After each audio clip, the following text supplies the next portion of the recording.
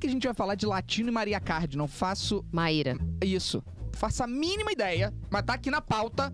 Eu não sou dono desse podcast, tá? Eu não respondo, quem manda aqui são os roteiristas. Aí, ó. Então vamos lá, o que, que aconteceu de Latino e Maíra Card? O que, que tem aí? Bota na tela. Famosos.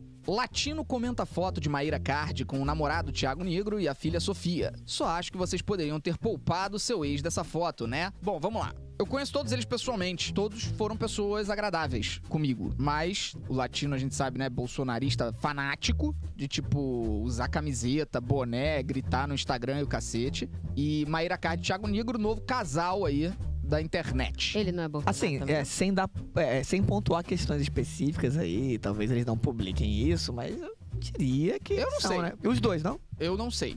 Eu não sei. Eu sei que são pessoas que sempre me trataram bem. O latino não mais, depois, por causa da disputa política, ele falou merda de mim.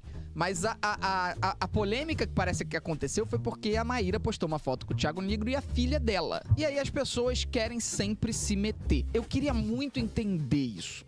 Real, que fenômeno é esse? Tipo assim, a Maíra postou uma foto com o namorado e a filha. Em que momento você achou assim, "Porra, minha opinião sobre isso importa? Ah, nenhum. Acho que provavelmente foi. Minha opinião não importa, mas ela vai viralizar. Tudo bem, no caso do latino. É, é. Mas e do povo? Porque a quantidade de comentário nessa foto é uma coisa assustadora. E eu queria entender o que passa na cabeça dessa pessoa em casa, velho. Que ela olha a foto e fala assim: eu tenho que opinar. Eu tenho que falar sobre como ela cria a filha dela. Eu tenho que me meter, embora não esteja lá. Eu não faça mais ideia do que acontece. Não sei como o pai é, não sei como o padrasto é, não sei como a mãe é com a filha. Não faço ideia de nada. Mas eu tenho que ter opinião sobre isso aqui. Eu tenho que ir lá deixar meu comentário. E normalmente pra machucar. Eu tenho que ir lá e eu tenho que machucar. O que, que acontece com você que faz isso? É vida vazia? Porque eu sinto que é. Eu não consigo entender qual outro contexto seria além de a tua vida é vazia. Vazia de significado, vazia de afazeres, vazia de propósito. Tá vendo? Até um celular aí concordou Opa. comigo. Não é o meu, não. E você se sente na necessidade de causar o mal, já que a tua vida é muito vazia. Tá ligado? Não interessa, Felipe, ela tá errada. Você não sabe. Tu só quer se meter, cara. Eu não entendo de verdade, mas enfim, vamos ver o que que o Latino escreveu aí. Que por sinal tem 11 filhos, né? Se tem uma coisa- 11? se tem alguém que não deveria ter vida vazia, é um cara com 11 filhos. Por isso que eu não tenho filho, pô. Achei top a foto. Só acho que vocês poderiam ter poupado seu ex dessa foto, né? Empatia pelo próximo pode ajudar na boa relação com seu ex. Já que o Arthur tem um amor tão incondicional pela menina. Expor a filha numa separação tão recente, em plena Páscoa, pode lhe causar algumas fricções familiares.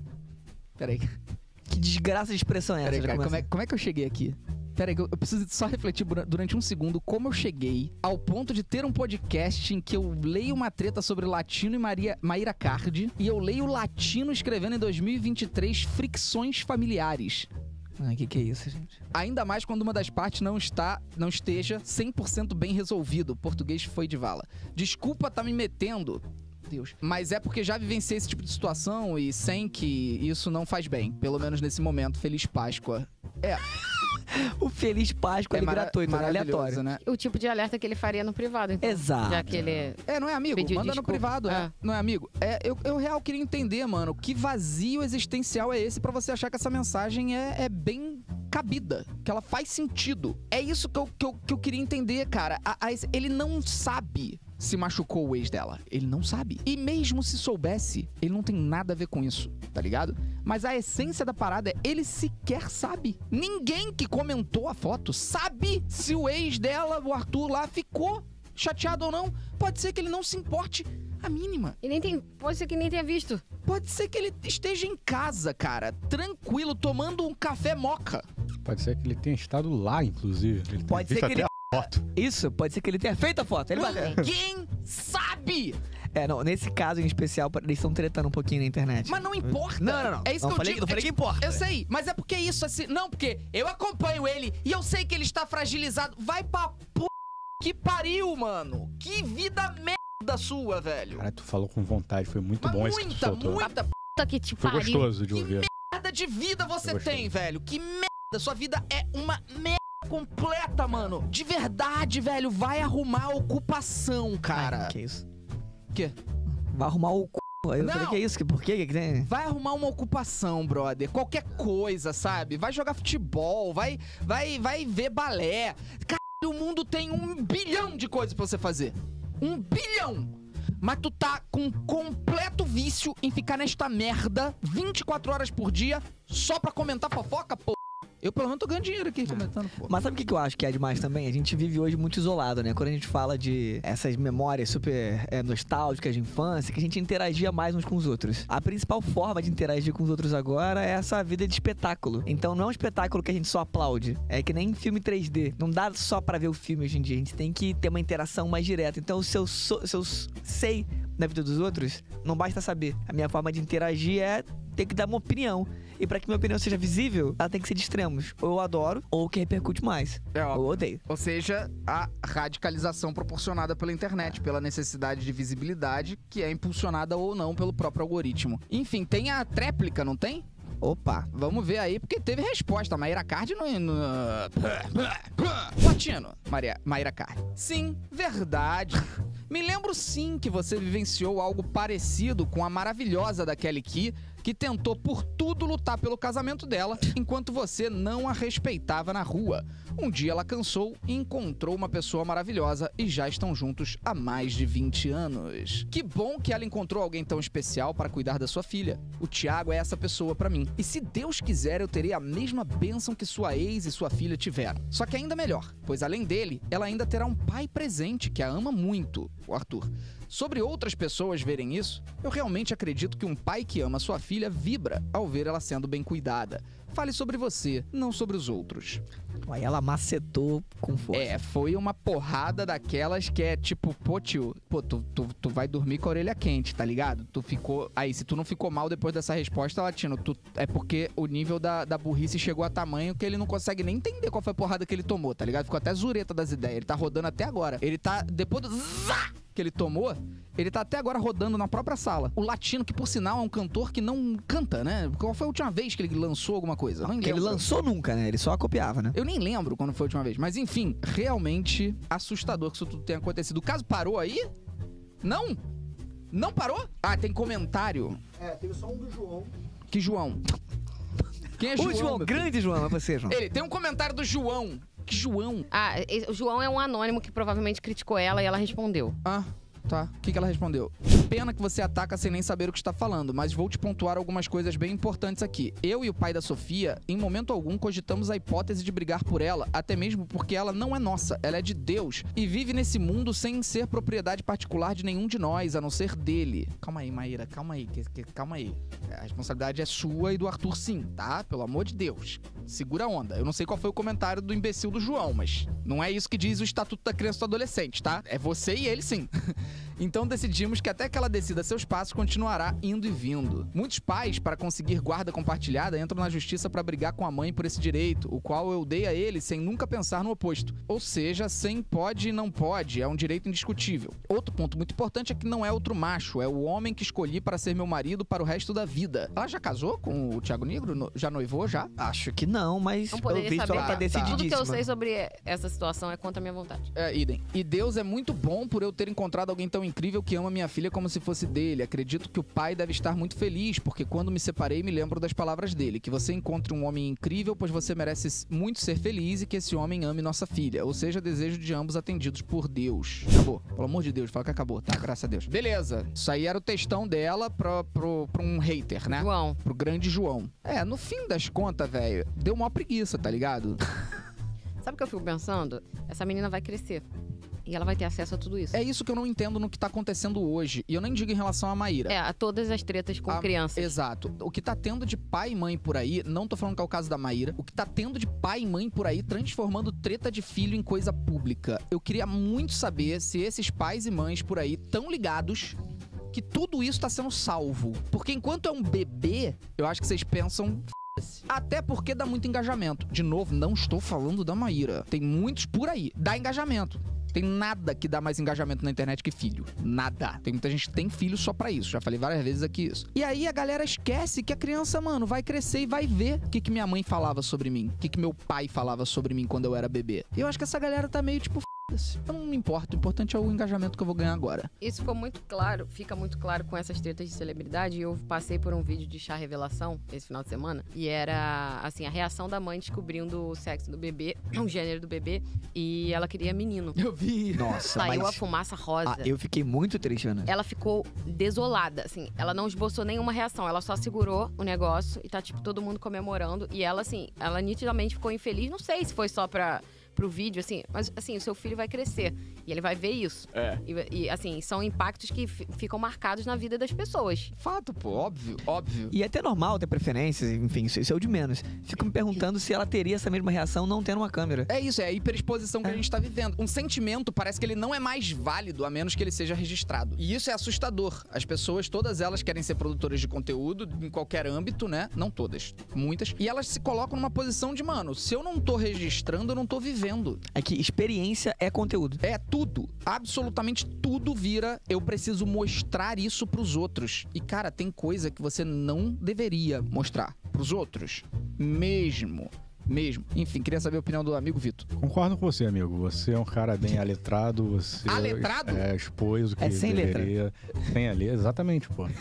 É. Então, opinião como é, pai conta muito também. É verdade. Perfeito. O quê? Ah, minha opinião? Ah, então, é, bom, é fogo julgar mesmo de fato, porque é o que você falou, cara. Ninguém tá ali dentro do relacionamento deles pra saber o que foi combinado, o que, é, o que, não é, o que aconteceu. Eu me separei, eu tenho uma filha, nós conversamos internamente nós tínhamos uma opinião sobre isso. Então, nós dois em conjunto chegamos a um consenso, pô, vai ser assim, pô, legal, tá ótimo, perfeito. Às vezes eles também têm uma relação ali que, pô, o, o ex-marido, cara, não- é que você falou, tá nem aí, porra, tranquilaço. Às vezes o cara pô. tá, tá tratando bem, não tem problema. Agora, meu motivo de cancelamento, mentira.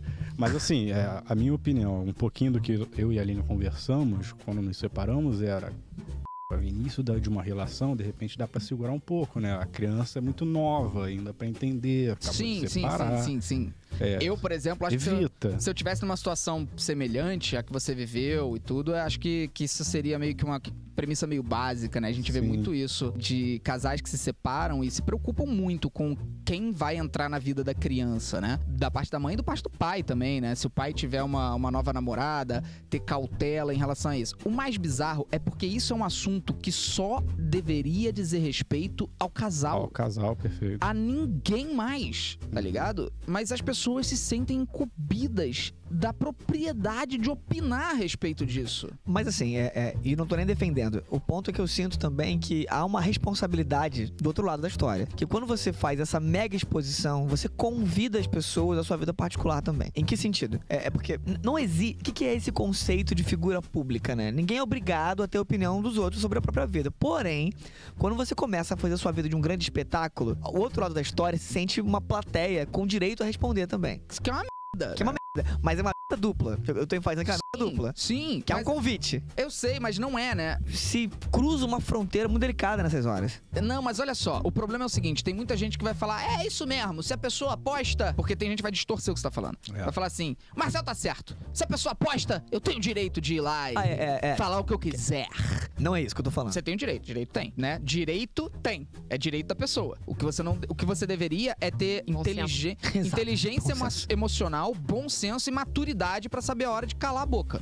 Tá? Se você não tem esses três fatores, e principalmente educação, se você não tem esses fatores, é, beleza, provavelmente você vai dizer, eu tenho o direito mesmo de ir lá e esculachar e meter o dedo no que eu quiser sobre a vida do famoso que eu quiser. Mas as pessoas distorcem isso a tanto tal ponto, fizeram lá a parada de botar os bonecos lá com a minha cabeça Ah, em Juiz é. de Fora e tudo, né? É. Que foi terrível. Agora na Páscoa fizeram um boneco meu, um boneco do, do juiz, do ministro é, Barroso, da prefeita de Juiz de Fora, e fizeram aquela malhação de Judas em praça pública e tudo mais. E, pô, eu fiquei absolutamente inconformado, até porque eu sou uma figura pública do entretenimento e eu não tenho aparato estatal pra minha segurança privada, tá ligado? Eu não tenho nada disso, essas pessoas têm. Então, eles fizeram lá esse, esse ritual deles, que basicamente é uma, uma. Enfim, é clamar o ódio, né? Convite ao ódio. E eu vi pessoas literalmente falando assim: eu estou do teu lado, Felipe, mas também você tem que estar preparado pra isso. Ah. Você sabe que isso vai acontecer e tem que estar preparado pra isso. Tem que estar preparado pra isso o seu c... tem que estar preparado pra isso. Não tem que estar preparado pro ódio gratuito. Não tem que estar preparado pra, pro, pra possibilidade de linchamento praça pública. Não tem que estar preparado pra nada disso, pô. E pessoas me defendendo falando isso. Mas tem que se preparar.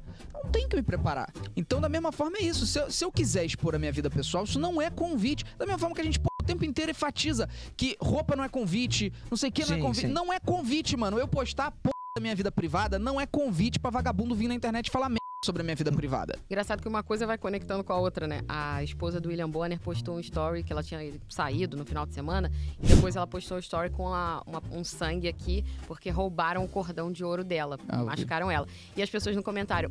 Cara, sério, você cara, parece que não vive no Rio de Janeiro. Ah, cara, isso é surreal. Então a culpa é de quem foi roubado. É isso. Tipo, assim, aí a pessoa. A culpa é do Felipe por fazer uma oposição clara, que é direito de qualquer cidadão. Ele tem que ser linchado e ter o boneco dele malhado, enforcado, como Judas, enfim. É, assim, já começa assim que essa prática de malhar o Judas é uma parada absolutamente medieval, assim, é Sim. surreal que isso seja uma prática ainda, assim. Exato. Ah, o argumento de que é uma tradição, assim, todo respeito, f***se. É, mas É tipo assim, não é uma tradição, figura. Tradição, cara. É tradição por não é- tradição. É, ainda falaram muito que, ah, você. é, falaram que eu aplaudi quando fizeram isso com o Bolsonaro. Que eu... Nunca falei sobre isso. Eu nunca comentei porque eu sou contra pra caralho. Não tem que fazer isso. Eu sou contra. Entendeu? Eu sou contra a pena de morte. Eu sou contra a p toda. Eu não acho que o Bolsonaro tinha que ser executado, pô. Tem nada a ver uma coisa com a outra. Aí vagabundo mistura tudo. Coloca, ah, você ficou calado também quando fizeram com o Bolsonaro. Também quer que eu faça o quê? Fala, ai, que absurdo É, eu fazer. ia sair agora. Pô, olha só, eu vou fazer um cartaz pra defender o Bolsonaro. Pô, a gente tá no meio de uma disputa gigantesca. Você quer que eu. Que pariu. Cara, bota todo mundo numa arena, vamos resolver na porrada, pelo amor de Deus, eu preciso muito disso. Não, fala isso não, que eu sou fraco. A gente defende, amigo. A gente faz um cordão humano ao seu redor. Um cordão, mano. Pelo amor de Deus. Fala. É, e além de tudo, porque é, é diferente, é ainda é, é, é o aprofundamento da distorção do que você estava falando. Que no seu caso não é uma exposição da vida privada. Quando você se posiciona contra, contra Bolsonaro e esse movimento todo, você está se colocando contra um fenômeno político, pô. Sim. É, então, assim, isso não dá direito a alguém que. Porque quando alguém fala de agressão contra você, não tem a ver com discordar profundamente de você. Isso é da vida democrática. Isso tem a ver com uma violência contra a sua existência, naquele caso ali. É óbvio. É uma metáfora de uma execução pública. É óbvio. Tipo, eu não represento nada. Eu não represento nada além da minha opinião. Eu não, o, o Lula representa o, o poder executivo.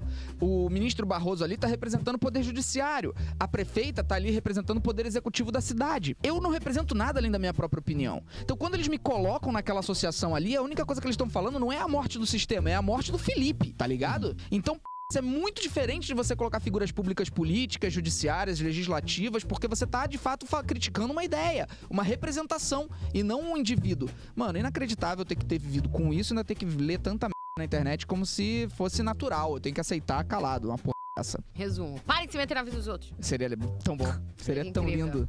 Seria incrível. Encham suas vidas. Você está muito vazia. Muito.